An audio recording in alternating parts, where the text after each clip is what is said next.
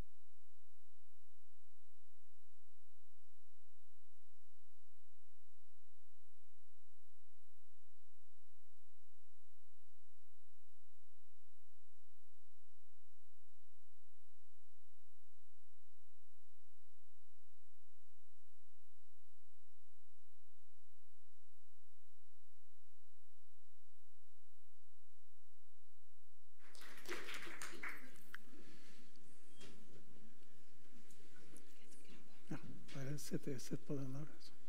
Første bilde.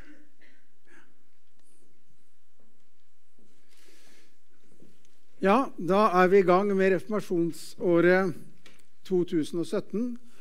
Og jeg skal da både begrunne denne tesen, som vi nettopp så, og samtidig si noe over emnet reformasjonen, grunn til feiring? spørsmålstegn. Og den tesen som dere da akkurat så presentert, den er altså slik Det du får, er viktigere enn det du får til. Og Så kan dere grunne litt over den mens jeg snakker, og så kommer jeg tilbake til det etter hvert. Vi skal begynne selvfølgelig når vi snakker om reformasjonen, eh, med å snakke om Martin Luther. Hva var det som drev han?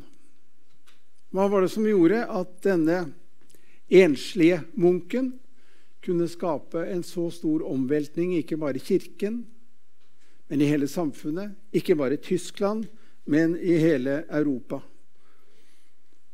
Hvordan kunne det ha seg at pga. han og han alene så ble det en veldig boom i den nye eh, trykkekunsten?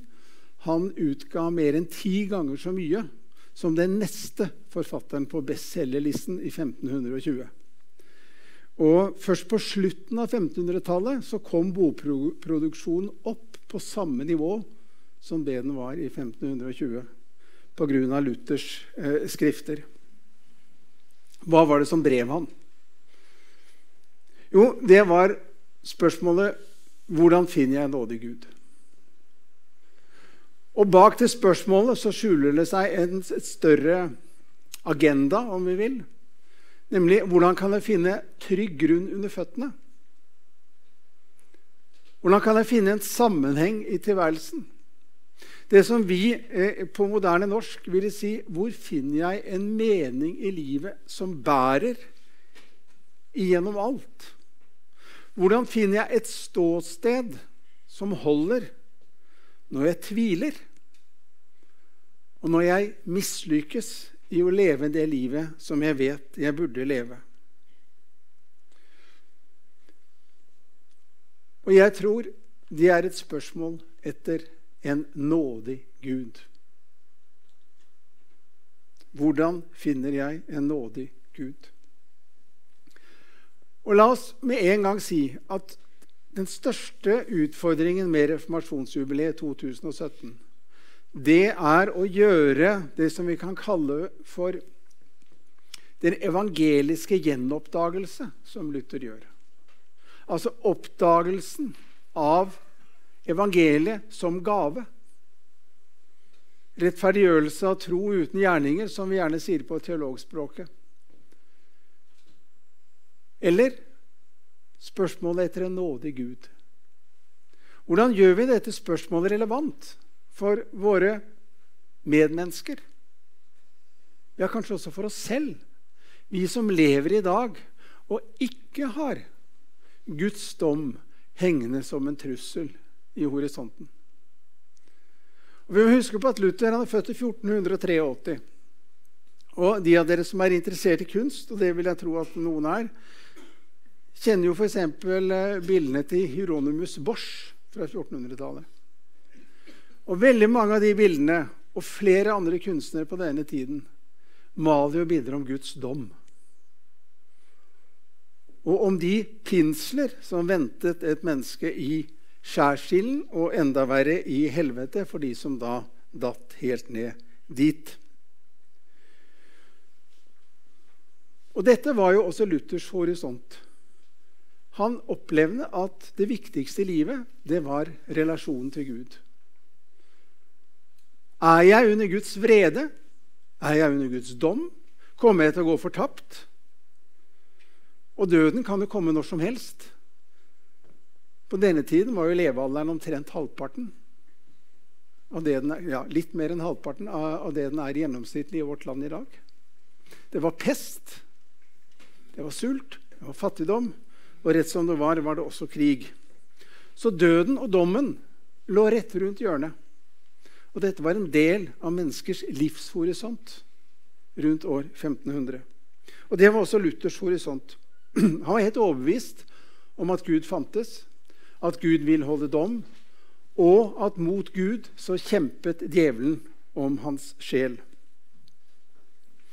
I dag, og dette er da utfordringen, så tror jo ikke mennesker slik. De aller fleste folk i nordmenn lever i lykkelig velvære. Vi lever i verdens beste samfunn. Døden, for ikke å snakke om dommen, er jo utenfor horisonten for de fleste av oss. Skjønt dommen, eh, døden kommer jo listende. men at det bak døden eventuelt skulle være en dom, et oppgjør og en Gud som holder meg til regnskap over mitt liv. Nei, det er drøy kost for de aller fleste. Og Hvor meningsfullt er det da å spørre etter en nådig Gud? Hvis Gud i utgangspunktet kanskje er utenfor horisonten? Jeg skal forsøke å bringe spørsmålet på bane ved å gå en liten omvei. Og da skal vi gå til eh, Ja Vi kan bruke piltassene, kanskje. Hmm.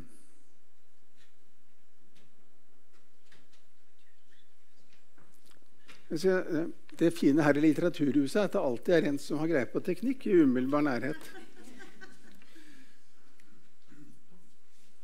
Hva gjorde du nå? Trykka på piltasten. Ja, men det gjorde jeg òg. Det er noe med det touchet. Han har varme hender, tenker jeg. Her ser vi da en ung mann, og han heter Martin. Det passer veldig bra. Akkurat det samme som Luther. Og dette er fra Bergens Tidende, fra Magasinet. Denne lørdagsutgaven som kommer eh, ja, på lørdager, faktisk. Eh, og det er, if, ifra i høst. Eller sent, sent i sommer. Han er en, som det står, en smart, flott og sympatisk kar som studerer medisin, snakker flere språk og har et godt forhold til venner, kjæreste og familie. Likevel er han ulykkelig, i likhet med rekordmange andre norske studenter. Alt ligger til rette for at jeg skal være lykkelig, så det er jo meg det er noe galt med hvis jeg ikke er det. Hvorfor er ikke Martin glad når han har alt? Jo, det kan være noe i det som Øystein Sandven sier, som da er sjefpsykolog ved Studentenes psykiske helsetjeneste her ved Studentsamskipnaden i Bergen, som da har opplevd økning av studenter som tar kontakt over flere år. Og Han tror årsaken til at flere søker hjelp, er sammensatt. Jeg tror mange unge er i en krevende totalsituasjon. De er veldig ambisiøse på egne vegne, og ofte kjenner de på press fra foreldre, venner og lærested. Mange forventer at de skal prestere på flere arenaer samtidig og oppleve at det hele tiden er mye som står på spill. Å være i sin egen lykkes smed fungerer veldig bra så lenge man mestrer. Men hvis du ikke gjør det, blir det også noe du må bære selv. Og jeg vil legge til at det å være sin egen lykkes smed er et utrolig krevende prosjekt også når du mestrer det. Fordi du vet ikke hvor lenge du holder.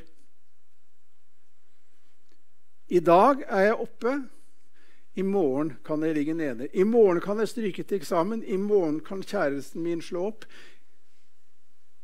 I morgen kan det hende jeg blir satt ut. I morgen kan jeg Ja, hvem vet hva som kan skje i morgen? Det er jo jeg som må sikre morgendagen. Det er jeg som må sikre mitt eget liv og være min egen lykkes smed. Og Når man da har mulighet til når som helst å gå inn på Facebook og måle sin popularitet i antall likes, og jeg er på Facebook jeg tør altså ikke å oppgradere mitt profilbilde. Fordi jeg er redd for kommentarene. Det profilbildet jeg har, er nemlig meget bedre enn originalen. Men jeg ser jo at folk stadig vekk skifter bilde og legger atskillig uh, arbeid i det. Og så tikker da kommentarene inn. 'Finingen', eller 'skjønningen', som det heter her i byen. Og så får man da målt hvor man ligger i antall likes. Jeg tenker det er et strevsomt prosjekt. Det å ikke ha noen Gud må jo med nødvendighet bety at jeg kan ikke vente hjelp utenfra. Jeg må trygge mitt eget liv. Jeg må bygge mitt eget hus. Jeg må bygge min egen mening. Og det er utgangspunktet mitt for å si at Luthers spørsmål etter nåde og etter en nådig Gud er like relevant nå som det var for 500 års tid siden. Men det er ikke like lett å få øye på at det faktisk er et spørsmål etter Gud. Jeg tror at Alle mennesker dypest sett bærer på en grunnleggende lengsel etter å være sett, å være elsket, å være godtatt uten krav. Og Dette behøver man ikke være teolog for å si. Det holder å være et alminnelig menneske. Eller en psykolog, f.eks. De, det hender også at de sier vesentlige ting. F.eks. når de snakker om småbarnets behov for basic trust, eller for basal tillit, som det mest grunnleggende av alle menneskelige behov. Behovet for å kunne vite at jeg er elsket, at jeg er ivaretatt, at jeg betyr noe for noen, uavhengig av hva jeg presterer. Og det er det dypeste ønsket som et barn har i forhold til sine foreldre. Og det er den største plikt som vi foreldre har å gi til våre barn. Denne følelsen. Du er elsket som den du er, uansett hva du gjør. Så skulle vi kanskje av og til ønske at du gjorde ting annerledes. Og det skal vi få lov til å snakke med deg om. Men det rokker ikke med vår grunnleggende kjærlighet til deg. Men hvor mange får en sånn basic trust gjennom livet? Og for den som ikke har det, så blir jo livet et skjørt prosjekt, for da må man bygge denne grunnleggende tilliten selv. Og selv det mennesket som har fått den grunnleggende tilliten, som jeg håper de fleste av oss har. I varierende grad, for vi, er jo ufullkomne mennesker, og våre foreldre var det også. Og Likevel så tenker jeg at de fleste har med seg en barndom som er overveiende preget av trygghet. Ikke alle. Jeg leser akkurat Vigdis Hjort, 'Arv og miljø'. Der er det ikke mye trygghet å hente. Men de fleste har vel opplevd en oppvekst som er grunnleggende båret opp av nettopp denne tilliten til at jeg er elsket og verdifull som den jeg er. Men selv for oss så er døden den store trusselen som kommer til å ødelegge all mening. Og det vi har bygget opp, er verdifullt så lenge vi har det, men det skal gå tapt. Og spørsmålet er finnes det en mening som varer også utover det. Fins det en grunn å stå på som holder når alt annet svikter? Det var det Luther spurte. Og For Luther var det helt klart dette må jeg finne hos Gud. Og Da må vi ta litt av Luthers biografi. Han var altså da født i 1483. I 1505 så opplever han, og da har han begynt å studere juss, så opplever han at han blir slått ned og nesten drept av lyn. Og han opplever dette som et signal, et kall fra Gud. Og som så mange andre som er i en dårlig situasjon i livet, så gir han Gud et løfte. Herre, hvis jeg overlever dette, så skal jeg bli munk. Og han overlever. Ja, Det er jo forholdsvis innlysende, ellers hadde ikke vi vært her i dag. Og han blir munk. Og hans prosjekt som munk er å leve livet som munk helt ut. Han skal be, han skal faste, han skal gå til Skrifte hver gang han gjør en synd. Og han skal sørge for at hans forhold til Gud er så grunnleggende i orden som det er mulig for han å ordne. Og bak dette som vi med en gang hører som et veldig stressende livsprosjekt, så ligger middelalderens, eh, den teologien i middelalderen som vi kaller for via moderna, som da sier at menneskets frelse er et samvirke mellom Gud og mennesker. Gud gir sin nåde, ja, det er riktig. Men for at nåden skal bli tatt imot og gjøre sin gode prosess i oss, så kreves det også en innsats fra vår side. Vi skal nemlig gjøre det som er pålagt oss. Eller som det het eh, på latin facere quod in se est. Man skal gjøre det som er pålagt seg. Og hvis du gjør det som er pålagt deg, gode gjerninger, bønner, fromhet Og den beste måten å gjøre dette på, ja, det var selvfølgelig å gå i kloster. Det var veldig vanskelig å få gjort alt dette her hvis man levde et vanlig liv og hadde mange barn og hadde et yrke.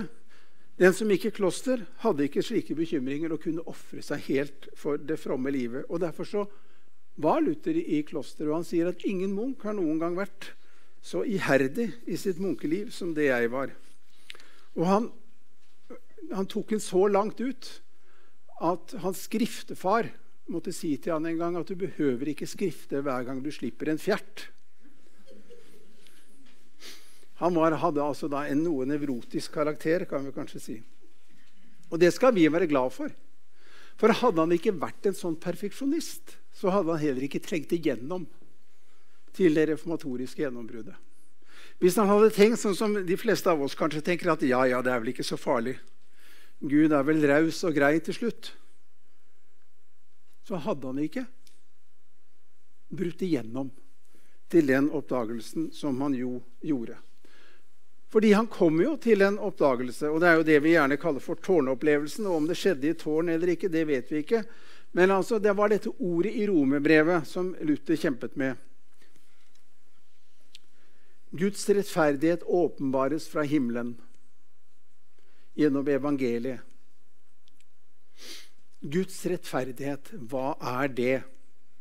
Den rettferdige skal leve ved tro, sto det i Romerne 1. Og når Luther skjønte at det betydde at Guds rettferdighet ikke var noe som han skulle oppnå, men var noe som han fikk Guds rettferdighet var ikke lønn for strevet, men det var det han fikk hvile i. At Guds rettferdighet ble gitt for Kristi skyld. Da løsnet grepet om hans liv. Og Derfor er det noen som har trodd at Luther hadde denne tårnopplevelsen faktisk på do. Det fins historiske kilder som, eh, det noe hos Luther som tyder på at det kan ha vært der. Og at Luther da rett og slett fordi han var en sånn tvangsnevrotisk person, hadde forstoppelse. Og at det, løsnet i det han skjønte hva Guds rettferdighet var. Da slapp han grepet også kroppslig. Jeg skal ikke gå lenger i detaljer på dette. Dette er vel mer morsomt og anekdotisk enn det kanskje er seriøst, men det bringer oss i nærheten av hva som var poenget her, nemlig at Luther da opplevde at han kunne senke skuldrene, rett og slett for å si det på et moderne eh, språk, og åpne seg for det som Gud ville gi ham. Guds rettferdighet, som før hadde hengt over ham som et krav, ble en gave. Den var altså ikke rettferdigheten for Gud men det var rettferdigheten fra Gud. Det er to helt forskjellige ting. Rettferdigheten for Gud det er den som jeg må erverve meg selv. Rettferdigheten fra Gud er den som Gud gir. Og Da er det Luther former dette uttrykket som etter min vurdering kanskje er det mest verdifulle som han uh, har gitt oss, i en kortform, nemlig uttrykket 'der frøliche veksel'. Det glade eller det salige bytte. Nemlig at Kristus blir menneske og tar vår plass i verden som et menneske. Gjennomlever våre liv og lider også dommen for våre synder.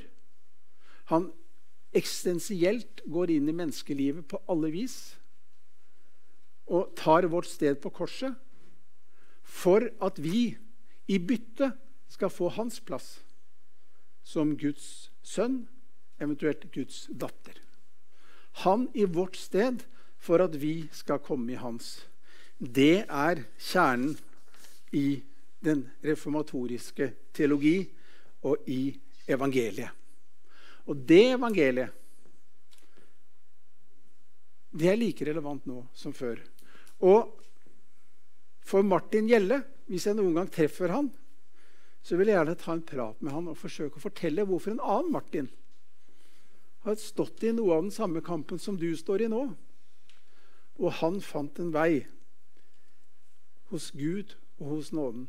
Og den kan kanskje også være noe for deg. For hvis det er en nåde, så er det jo bare Gud som kan gi den.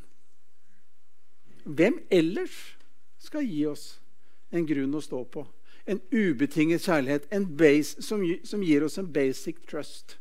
Som bærer ikke bare dette livet, men også i døden. Hvem ellers skal gi det? hvis det ikke er Gud. Nå prøver vi igjen her. Rettferdiggjort av tro uten gjerninger det er Det er det verdifulle. Den nådige Gud. Det salige byttet. Og det følger av det at Gud stiller alle mennesker på lik linje. Det er jo ingen som har noe å rose seg av her. For om, Uansett om du har kommet langt eller kort, om du er munk eller smed, kvinne eller mann, så er alle i samme båt. Nemlig at vi til syvende og sist er helt avhengig av den nåden som bare Gud kan gi. Og Derfor er alle kristne grunnleggende sett like i Luthers tenkning. Og Dette er jo noe av det mest revolusjonerende med hans teologi, og noe av det som fortsatt skiller mellom den lutherske kirken og den katolske kirken. Mens mye av det jeg har snakket om hittil, evangeliet som gave, den nådige Gud, rettferdiggjørelsen av tro uten gjerninger, vil også katolikker i dag veldig langt på vei si at her hadde Luther rett. Han så noe som er en økumenisk felleskristen sannhet. Derimot, når det gjelder hans oppfatning av hva Kirken er, så forblir det et dypt skille mellom den katolske kirke og den lutherske kirke også i dag. Og Det Luther tar et oppgjør med i den katolske kirke, det er da denne tankegangen om at eh, prestetjenesten er en særlig stand. Og at man ved ordinasjonen får en spesiell utrustning som gjør at man kan feire Eh, dåp og nattvær, og at bare den gyldig innvigde prest kan feire en fullgyldig kristen nattvær. For Luther står denne saken annerledes. I det berømte skriftet fra 1520 til den kristne adel av den tyske nasjon så skriver han alt som er krøpet ut av dåpen, kan rose seg av å være viet til prest, biskop og pave prest, biskop og pave. Det er ikke rart det blir bråk i kirken når man tenker sånn. Alle kan være prest, biskop og pave. Men utgangspunktet er altså nytestamentlig, 1. Peters brev 2. Dere er en utvalgt slekt, et kongelig presteskap, et hellig folk, et folk som Gud har vunnet, for at dere skal forkynne Hans storverk, Han som kalte dere fra mørket og inn i sitt underfulle lys. Og dette er sagt til alle kristne. Å forkynne evangeliet er ikke et privilegium bare for prestestanden, men det er for alle kristne. Og Det samme gjelder også det å kunne feire dåp og nattvær. Men for at det skal være orden i menigheten, og for at det skal gjøres på kvalifisert og skikkelig vis, så må noen læres opp til å gjøre det på vegne av alle. Og Det er også for å sikre allmennheten i det allmenne prestedømmet. eller i de troendes prestedømme. For Hvis det ikke var slik at noen ble utpekt til å gjøre dette på vegne av alle, så ville det fort bli en rivalisering mellom ulike sterke grupper i menigheten om hvem det var som skulle være leder. Hvem det var som var mest åndsfylt eller mest karismatisk. Derfor må det være orden i kirken, og noen må på vegne av alle gjøre det som alle kan gjøre, men som ikke alle skal gjøre. Og Luther sier også et sted at dersom noen kristne strander på en øde øy, så må de bare begynne å forkynne Guds ord og døpe og holde nattvær. Og det er like godt som om paven selv gjorde det. Altså det, det er en fullgyldig eh, sakramentsforvaltning. Fordi det er kristne, kort og godt. Vi har én dåp ett evangelium, én tro, og vi er like kristne alle, sier Luther. For det er bare dåpen, evangeliet og troen som skaper geistlig og et kristen folk. Og så kan vi spørre hva betyr dette i dag? Jo, det aktualiseres f.eks. For i forkynnelsen. Etter min mening er det et stort savn at det bare er vi geistlige stort sett, som er forkynnere i menigheten. Og Det som skjer i vår kirke, er jo at lekfolkets arena er i ferd med å forsvinne. Jeg har jo vært på en del møter i, i bedehus og hørt de kristne vitnesbyrdene. Da jeg var på vei til kirken i dag, så, eller til bedehuset i dag, så kom det et ord til meg. Eller som vi sa i Fredrikstad, det er et ord som er blitt så ille godt for meg. Og det vil jeg gjerne gi til dere. Og nå skal dere høre. Altså, Dette vitnesbyrdet om hva troen betyr for alminnelige folk, hvor er det i vår kirke? Hvor er formidlingen av den elementære troserfaringen? Nemlig at det, det er veldig mye jeg ikke skjønner. Og det er veldig mye jeg ikke får til. Og allikevel så tror jeg det, at jeg er elsket og tatt vare på av Gud. Altså Én ting er at vi prester sier dette, her, men det hadde vært så fint hvis noen av fotfolk i kirka kunne fortelle hva det betyr for meg å være en kristen i dag. Og nå kan dere tenke med dere selv når hørte dere sist andre enn oss med denne snippen forkynne evangeliet om tro? Og dele troserfaringer. Jeg skulle ønske, og jeg kommer til å si det til prestene også, at vi i 2017 i hvert fall én en eneste gang i hver menighet kan oppleve det at prekenen overlates til en av de andre. Det tenker jeg Luther ville gledes over der han sitter. Det er noe veldig paradoksalt at vi hele tiden snakker høyt om demokrati i Kirken, samtidig som gudstjenesten systematisk er bygget opp omkring prestens suverenitet. Vi har akkurat gjennomført en gudstjenestereform i Norske kirke, og mye av det vi gjorde da, kunne vi latt være. Men én suksess med gudstjenestereformen det var at vi har klart å involvere mange flere i gudstjenesten. Det er mange flere som er med å forberede. Det er mange flere som også er med å gjennomføre gudstjenesten. det som var tidligere, hvor dette var pressens verk ene og alene. Det er en stor vinning. Men jeg skulle ønske at også den siste skanse falt. At ikke presten er den eneste som skal stå ved lesepult eller på prekestol og utlegge dagens tekst. Det er nok ikke alle som skal gjøre det. Det er kanskje til og med få som skal gjøre det. Men noen skal gjøre det. Og om de ikke akkurat vil preke, så går det an å ha et vitnesbyrd flettet inn i en, i en, preken som presten holder. Så kan noen komme og gi sin stemme inn i det som formidles der.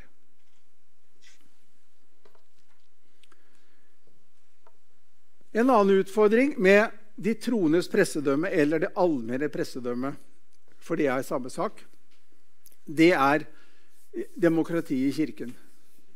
Og Jeg skal bare være ganske kort her for å si at på den ene side så er det veldig gledelig at vi ved siste kirkevalg i 2015 hadde en rekordhøy oppslutning. Slik bør det være. Det bør være en god oppslutning omkring eh, eh, kirkevalg. Og det er helt i samsvar med Luthers tenkning om Kirken at folket deltar i valg. Og Det er jo også noe som da skiller oss fra den katolske kirke, nemlig at på toppen i Den norske kirke så sitter altså da ikke embetet. Dvs. Si de sitter i hvert fall ikke alene. Men der sitter en synode, eller hvis man vil si det litt verdslig, der sitter en generalforsamling valgt blant Kirkens fotfolk. Av og blant Kirkens fotfolk i demokratiske valg. Men Luther er veldig klar over at Kirken inneholder både troende og ikke-troende. Og han mener at det å delta i kirkestyret er for de troende. Han skriver et skrift fra 1520 som heter 'Om Romas pavedømme'. Og Der skiller han mellom to kirker i kirken. Den ene er en åndelig indre kristenhet, mens den andre er en legemlig og ytre kristenhet. Og det er altså en ytre kristenhet som er, som er kirkemedlemmer, men som ikke deler troen. Og så er det en indre åndelig kristenhet, som er de som er døpt og tror.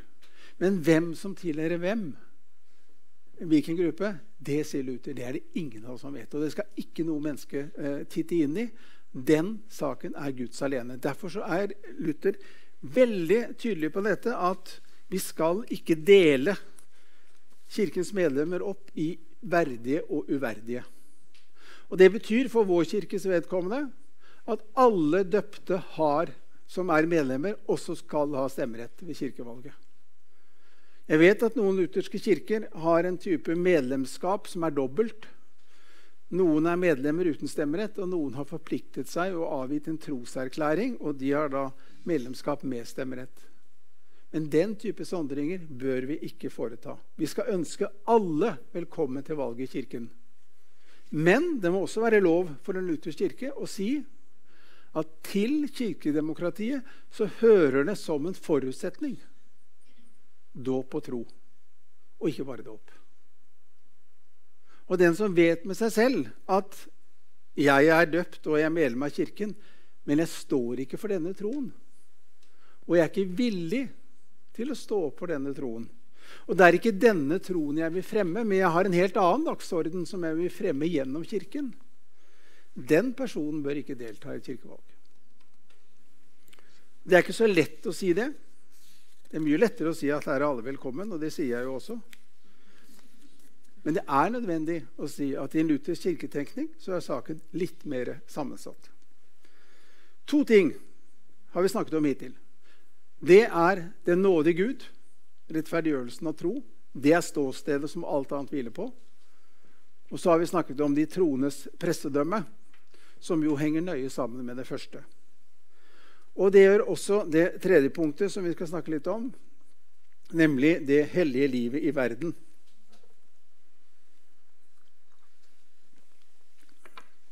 Og det har jeg allerede vært litt inne på. Luther var jo den oppfatning i utgangspunktet at for å kunne leve det hellige liv, så var den sikreste måten å gjøre det på, det var å gå i kloster. Og sånn tenkte man jo i det hele tatt på denne tiden. For der kunne man gjøre de kristelige tingene. De som var spesielt kristelige, og som gjorde det mer nærliggende å tenke at man ville holde mål for Gud. Bønnen, fromheten, de gode gjerningene. Nei, sier Luther. Og han avskaffer jo faktisk klostervesenet, som vi også hørte i denne lille snutten.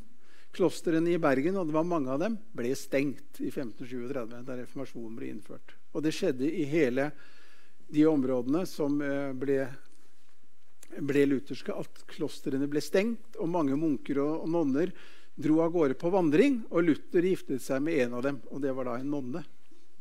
Til orientering. Og Hun het da Kete von Bora, og hun kom til Wittenberg sammen med noen andre nonner som hadde flyktet fra et nonnekloster. Og Luther fordelte da disse nonnene blant sine venner, og så ble det én igjen.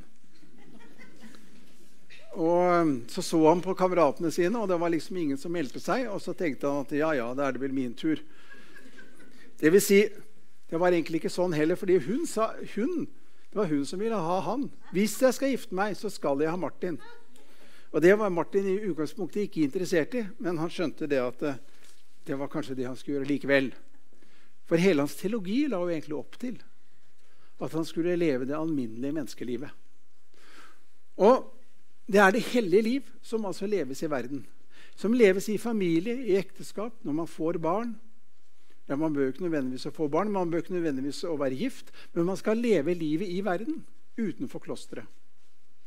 Og det å være smed, og det å være baker, eller det å være fyrste, eller det å være mor Det å arbeide på åkeren Alle disse aktivitetene er en del av skapelsen, og på den måten så holder Gud verden oppe. Og det å gå inn i disse yrkene er å svare ja til et kall. Det ligger et kall i selve livet. Og man behøver ikke være kristen engang for å skjønne at det er et kall i det å være til stede i verden og det å møte mennesker. Det utgår et kall hver gang vi møter hverandre. Vi vet at vi må hjelpe hverandre. Og Luther kaller dette kallet for berof. Det er det tyske ordet for yrke. Og det ordet er ikke belagt på tysk før Luther eh, utformer det. Det er ingen som snakket om dette som et berof før Luther gjorde det. Et yrke er et kall. Og ikke bare et yrke, men ethvert ærlig gjøremål i verden, som f.eks. når en mor dier sine barn, det er Guds kall, og det er det hellige livet. Og en i en viss forstand så kan vi si at det Luther gjør, er at han da sekulariserer verden. Nemlig, han legger verden åpen og sier at den er, her er verden. Det er ikke noe spesielt kristelig sted. Den er for alle. Og her skal livet leves. Og her skal man bruke sin fornuft og sin medfølelse. Og den fins både hos kristne og hos ikke-kristne. Og Samtidig så sier han da at like sikkert som at verden skal sekulariseres, så skal den også sakraliseres. For det at Luther avskaffer klosteret, kan like gjerne sies på en annen måte, nemlig at Luther ikke avskaffer klosteret. Han utvider klosteret og sier at klosterlivet, forstått som det livet den kristne lever for Gud, i bønn og tjeneste, det er hele verden. Alt det du gjør, er del av en gudstjeneste. Klosteret er overalt. Og Dermed så setter da Luther eh, mennesker fri til å arbeide. Ikke for å bli frelst, for du kan aldri arbeide for din egen frelse, for den får du bare gjennom dåp og tro. Men du kan arbeide fordi det medmennesket trenger deg det. Eh, trenger det. Og da faller stresset ut av arbeidet. Og Hvis vi går tilbake til Martin, han medisinerstudenten, så, så skal vi si du skal studere medisin. Du skal arbeide hardt, du skal ta dine eksamener, men det er ikke der du skal finne din Gud.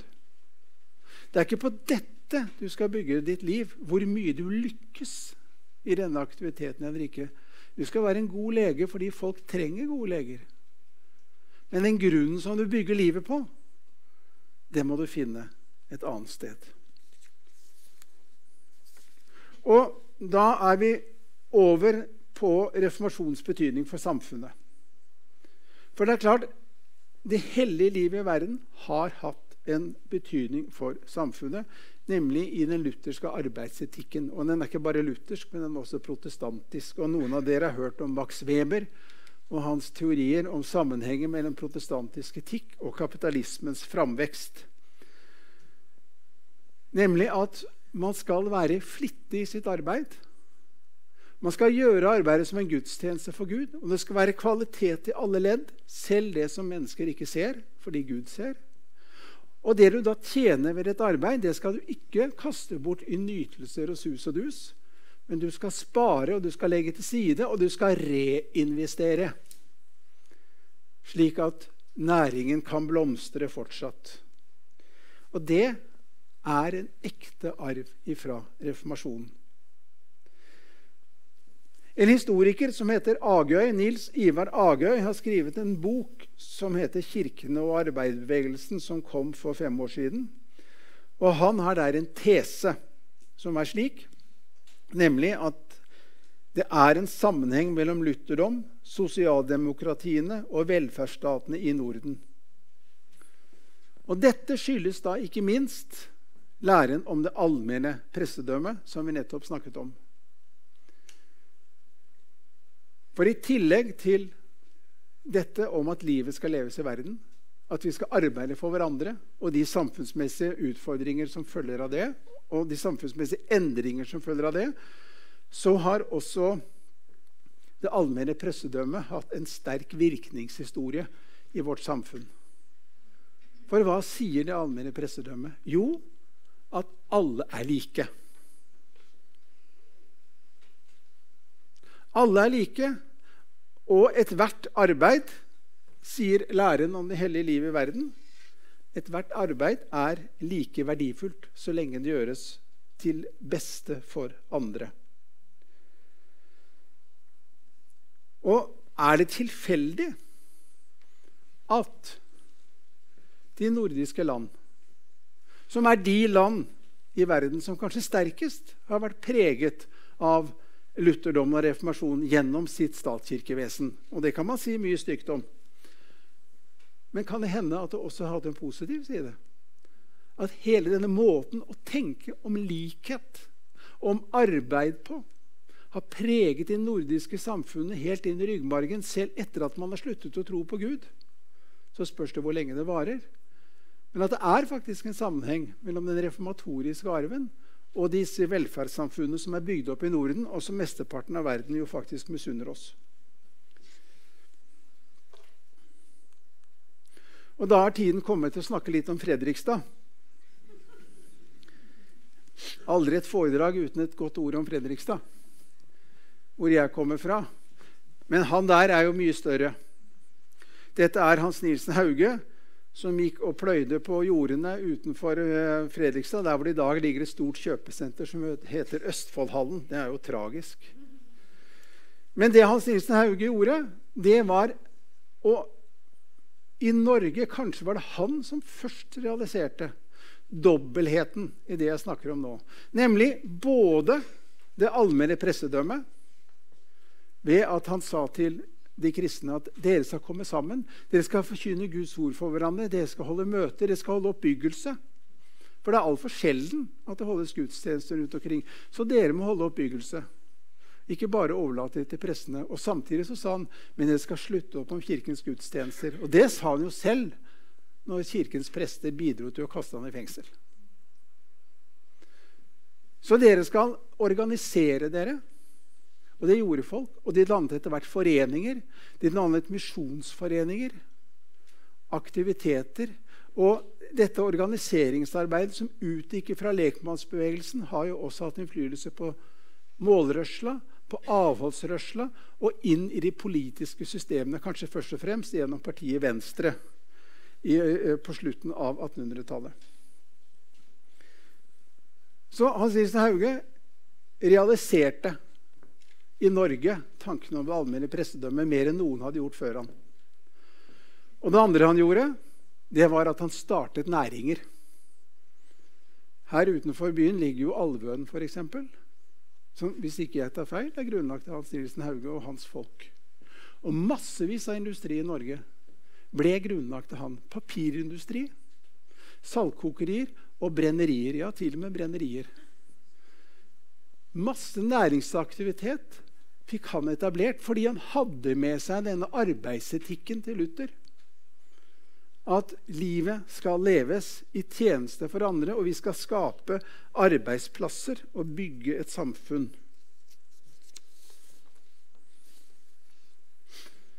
Og så og nå er jeg da i ferd med å nærme meg slutten, for da må vi spørre var nå denne reformasjonen en vinning? Og jeg vil mene ja. Det var, for det første så var reformasjonen helt nødvendig. Den måtte komme. Men det er ikke sikkert den hadde kommet med en slik kraft hvis det ikke hadde vært for personen Martin Luther. Én ting er å samle ved til et bål. Og det, man må jo si det at Rundt 1500 så var veden på mange måter samlet. Det var en grunnleggende uro i kirken og et sterkt behov for reform. Ikke bare i Tyskland, men også i et land som Spania var det sterke reformbevegelser, og i Nederland gjennom humanister som f.eks. Erasmus fra Rotterdam. Men noen må tenne en ild. Og det var det Luther gjorde. Og vi har hatt her i november så hadde vi besøk av Heinz Schilling, som har skrevet denne store biografien om Martin Luther, 'Rebell i en oppbruddstid'. Den fins å få også på norsk. Og når han skal konkludere i sin bok, som vel antageligvis er en standardbiografi som vil bestående ganske lenge som verket om Luthers liv, så sier han følgende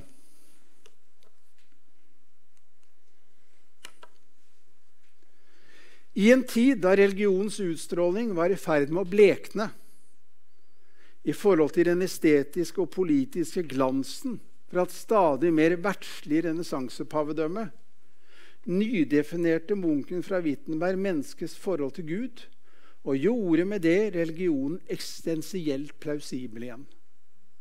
Det var altså Noe av det minst oppbyggelige man kan lese om, det er jo pavene omkring år 1500 som var utnevnt av dynastiske grunner. De tilhørte rike familier i Italia. Og de levde et liv som lå milevis unna den standard som man vil sette for enhver prest, for ikke å snakke for en, en pave. Det var tunge tider i kirken. Og vi hadde avlatshandelen, som jo var innrettet på å bygge eh, Peterskirken. Det må vi da tenke på når vi kommer der og gleder oss over dens skjønnhet. At den er da for en stor del bygger på penger som kom inn gjennom nettopp den avlatshandel som Luther bekjempet, og som det var stor misnøye med. Og Det Luther da klarer å gjøre, det er at han gir troen en eksistensiell troverdighet. Han klarer på en måte å rehabilitere troen, ikke bare som en personlig tro, men som en kulturell, samfunnsmessig og politisk virkende kraft ved inngangen til nytiden. Luther er født i 1483, og det er senmiddelalderen. Og han dør i 1546, og da er middelalderen slutt. Og han er selv en av de som bidrar til dette skiftet. Det er mange andre aktører som også bidrar til det, men Luther er helt vesentlig og uomgjengelig. Fordi det Luther gjør, det er at han myndiggjør det enkelte mennesket. Og sier at eh, du selv skal lese Skriften. For Skriften, ikke Kirken, ikke paven, ikke konsilene. Skriften er den høyeste autoritet, og den har du fått mulighet til å lese fordi jeg er oversatt til tysk. Og det er å gi folk myndighet over sine liv. Og Han var selv et eksempel på et menneske som da på denne skriftens grunn sto opp mot Karl 5., keiseren av det tysk-romerske riket, i Worms i 1521. Og mot hele hans apparat. Og sa at 'dette tror jeg, dette står jeg for'. Gud hjelpe meg. Amen. Og han var redd, men han sto. Og den type å stå opp for sitt syn, som vi i dag betrakter fortsatt som noe heroisk, det å kunne stå opp mot systemet, det er Luther en prototyp på ved inngang til det som vi kaller for nytiden. Nettopp med fokus på enkeltmenneskets ansvar og enkeltmenneskets myndighet og muligheter. Og for å realisere sitt program om at folket skulle lese i Skriften og handle med basis i Skriften og styre Kirken gjennom det allmenne pressedømmet med basis i Skriften, så måtte jo naturligvis Bibelen oversettes til tysk. Og kort tid etter også til dansk og norsk senere. Men for at folk skulle lese, så måtte de gå på skole. Derfor er det jo ikke noe tilfeldighet at i Norge så innføres konfirmasjonen i 1737 og lov om allmennskolen i 1739. Fordi at For å bli konfirmert så måtte man jo lese. Og dette kommer enda tidligere til Tyskland enn det gjorde til Norge. Folk var jo stort sett illitterære på den tiden. Analfabeter, De store massene var analfabeter. Det å lese var et privilegium for få. Men reformasjonen skapte i Tyskland en reform av skolevesenet, en oppbygging av skolevesenet, som løftet samfunnet. Og det som skjer i Europa i etterkant av dette, er at områder som Nord-Tyskland, Nederland, Storbritannia og Norden vokser og utvikler seg på bekostning av gamle stormakter, som f.eks. Portugal og Spania, hvor jo denne undervisningsreformen ikke kommer så tidlig som det den gjør i de lutherske områdene. Og Jeg tror det er dekning for å si, som Nils Ivar Agøy også var inne på, at det er en sammenheng mellom den lutherske arven og velferdsstaten. Og at det ikke minst har å gjøre med oppbyggingen av skolevesenet og, og, og det å rett og slett heve opplysningen. Og så er det mange andre grunner også. Det er mange andre bevegelser vi kan nevne. Arbeiderbevegelsen, kvinnebevegelsen, målrørsla, for bare å nevne noen. Men også de har kanskje en sammenheng med reformasjonen. For Det er nemlig, og det er jo det som er det trikket her, det er jo veldig vanskelig å spore utvikling fra reformasjonen og si at det der er den. Fordi pga. statskirkeordningen og pga. eneveldet og på grunn av hele historien så ble jo dette på en måte innvevd i hele samfunnsveven. Og denne arven den er rundt oss på mange vis som vi ikke tenker over. Og veldig mange av måtene som dette skjedde på, var jo autoritære. Det var jo kongen som styrte, og den som ikke var enig med kongen og den lutherske tro, måtte jo til og med forlate riket. Det var jo derfor folk emigrerte til Amerika. De første som reiste, reiste jo fordi de var forfulgt for sin tro. Det var kvekerne. Så det er mange stygge sider ved denne arven. Og Da har vi også kommet over til det som vel da må sies å være Ja. Hvordan formidle en tro folk ikke etterspør? Det er jo det som blir, blir utfordringen. Fordi jeg, jeg, folk går ikke rundt og spør etter en nådig Gud. Men jeg skal, jeg skal prøve å få dem til å stille det spørsmålet. Kanskje er det det jeg leter etter, nåde. Og kanskje fins det nåden ingen andre steder enn hos Gud. Ja, hvor skulle den ellers være? Og så litt til slutt om det som da er reformasjonens tapskonto. Fordi når temaet er reformasjonen en vinning, og det skjønner dere at jeg jo mener, og noe annet ville vært overraskende, så er det også en tapskonto her. Og det er først og fremst at Kirkens enhet gikk tapt. Luther ville ikke kirkesplittelse, men han ble altså da lyst i bann av paven i 1520. Og brenner jo denne pavebullen til alt overmål. Det var kanskje ikke det lureste han kunne gjøre. Men dermed så er jo bruddet et faktum. Og det har en høy pris. Det har svekket Kirkens budskap at vi fikk denne kirkesplittelsen i vår del av verden, og at vi fortsatt har den. Og det som er verre, er jo at dette handler jo ikke bare om et brudd med den katolske kirke. Og den katolske kirken den er jo der fortsatt. Forholdsvis intakt, må vi jo si. Men på, den, på reformasjonssiden så har det jo skjedd oppsplitting i utallige kirkefamilier. Lutheranere, metodister, presbyterianere og videre utover pinsevenner, baptister. Alle disse utgår på forskjellig vis fra reformasjonen. De regner seg ikke som lutherske, alle. Langt ifra. Men det er reformasjonen og den kampen som ble ført på begynnelsen av 1500-tallet, som er selve oppbruddstiden, og som fører til en flom av kirkesplittelser som jo ikke noen kan glede seg over. Og så vet vi i dag at det er noe som heter økumenikk, arbeid for Kirkens enhet, og at det er i sterk vekst.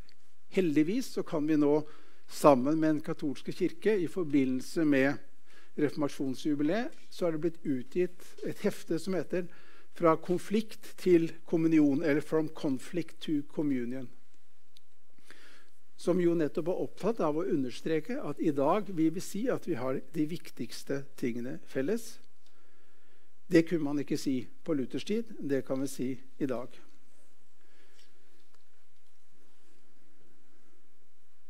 Og Så har vi også et indrekirkelig problem, nemlig hvem taler på vegne av Kirken. Og Det ser vi nå når vår kirke strever med forskjellige saker. Og Dere vet alle hvilke saker vi strever med. Hvem er det som har myndighet til å si hva som er rett og gal lære?